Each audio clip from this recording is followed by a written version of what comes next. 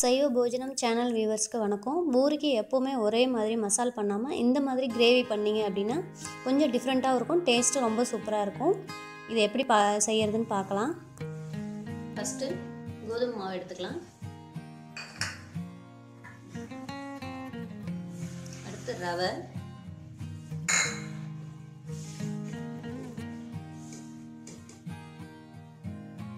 மைதா.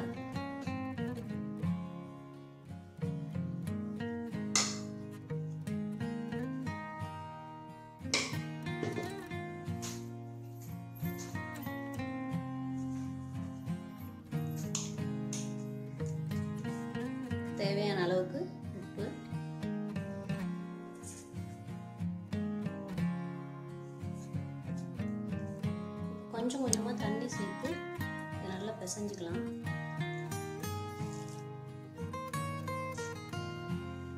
இந்த அளவுக்கு பிசைஞ்சுக்கோங்க. சப்பாத்தி மாவு மாதிரி ரொம்ப அழுத்தி அழுத்தி பிசைய வேண்டாம். லைட்டாக பிணைஞ்சாலே போதும்.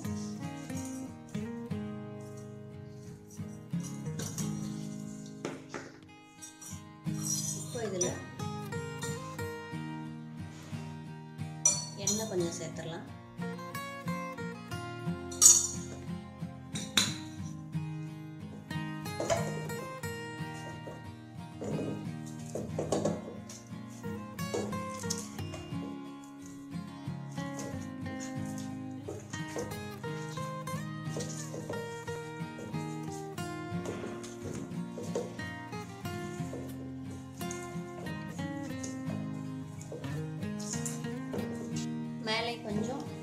அப்படியே பரவாயில்ல தடவிட்டு அப்படியே இதை மூடி வச்சிடலாம்.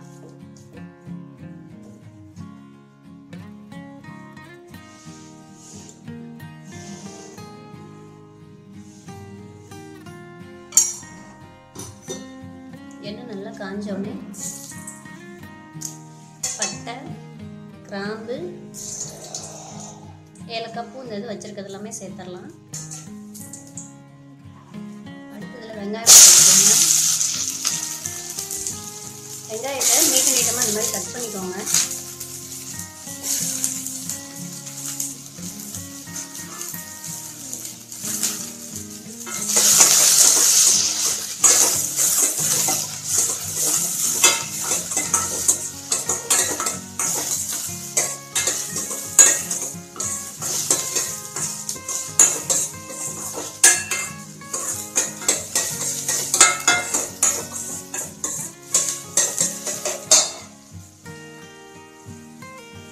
இப்போ இதில் இஞ்சி பூண்டு பச்சை மிளகாய் சேர்த்து அரைச்சிருக்கேன். இதையும் சேர்த்துடலாம்.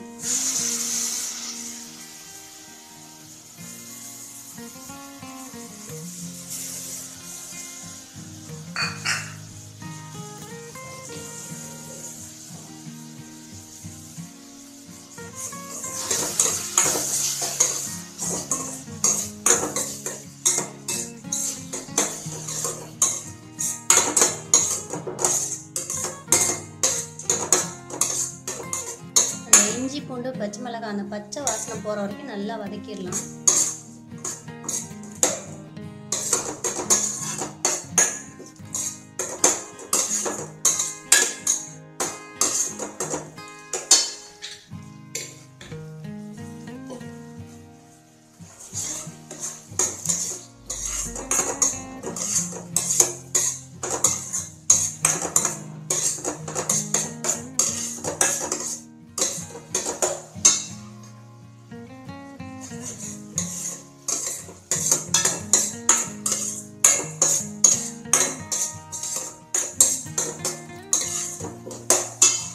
நல்லா கனிஞ்ச பெரிய சைஸ் தக்காளி ஒன்று எடுத்துக்கோங்க. அதில் வந்து அரை தக்காளியை மட்டும் பாதியை மட்டும் இந்த மாதிரி பொடியாக கட் பண்ணிக்கோங்க.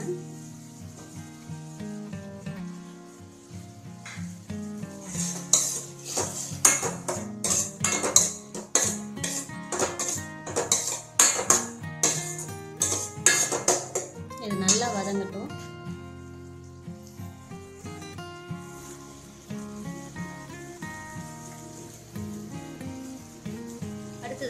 தேவையான அளவு உப்பு மஞ்சத்தூள்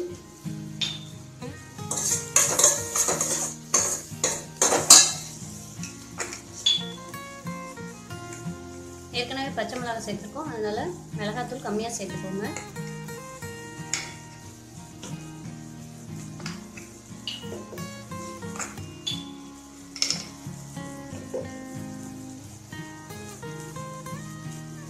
கொத்தமல்லி தூள்.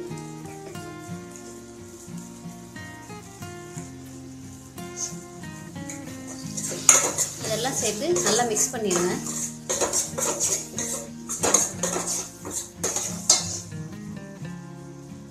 இப்போ மொச்சக்காயை கழுவி வச்சிருக்கேன். இதையும் சேர்த்துடலாம்.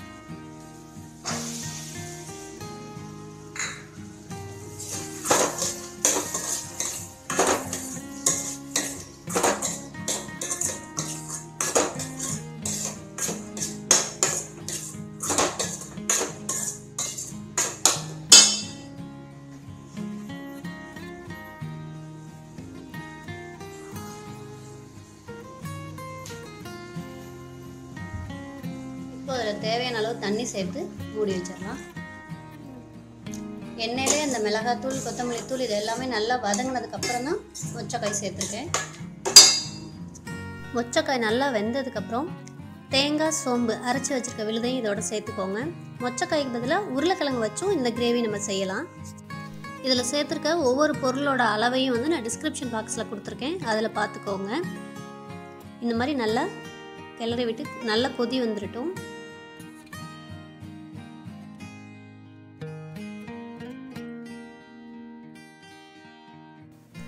அடுத்து இதில் அரை டேபிள் ஸ்பூன் அளவுக்கு நெய் விட்டுக்கோங்க.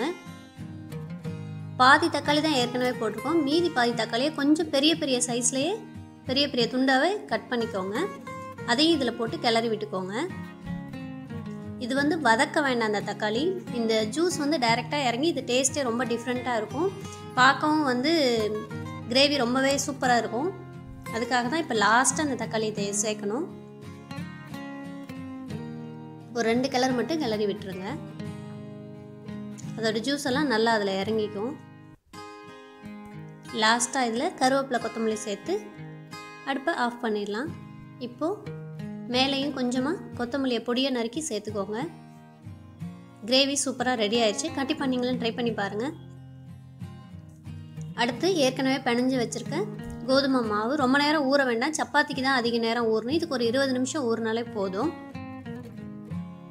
இன்னொரு தடவை மாவை பிசைஞ்சிட்டு சின்ன சின்ன உருண்டைகளாக எடுத்து பூரி செய்ய ஆரம்பிச்சிடலாம்.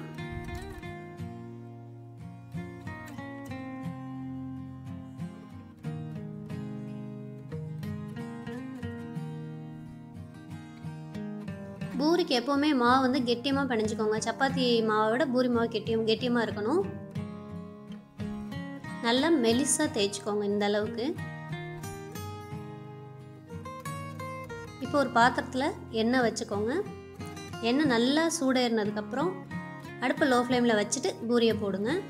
எண்ணெய் நல்லா கொதிச்சிருக்கணும். அப்போ தான் பூரி நல்லா வந்து உப்பி வரும்.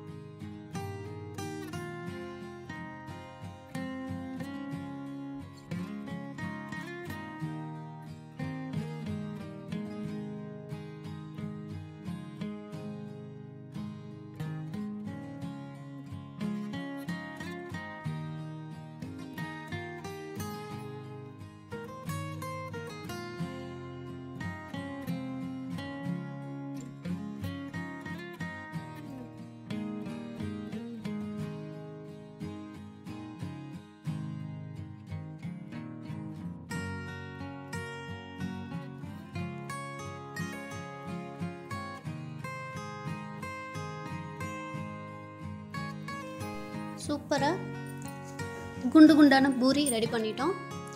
அதுக்கு சைடிஸாக ரொம்ப டேஸ்டான கிரேவியும் இருக்குது. இது பார்க்கும்போதே தெரியுது ரொம்ப மெலிசாக தான் இருக்குது இந்த பூரி.